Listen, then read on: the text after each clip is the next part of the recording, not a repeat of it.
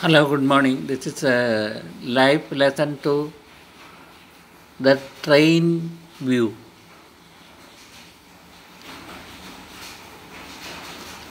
This is a just like we are traveling in a train, for example, in India. The train goes usually a straight railroad. The train goes and we have a TV like uh, window is like a TV. In this, several things, landscapes come and go, run in a movie. Suppose we think of the train's window as a video played on a TV screen. That is uh, already decided. So where we go, the landscapes are already there. Suppose it is like that.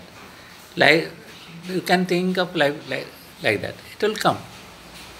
What is the there is difference is the things once seen we cannot the train will not go back and see again.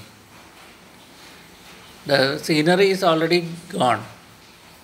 Then we can see look back and see that it's uh, disappearing, becoming smaller and smaller as memory. That moment is, you look back in the train, that scenery was already gone. So in the past, so moved past that train and it's back, so memory. It's not in front of us now. We are sitting in another place. So similarly, the thing is coming and going always. But uh, only one difference is we are given the choice of the inner camera or shooting the movie that we like.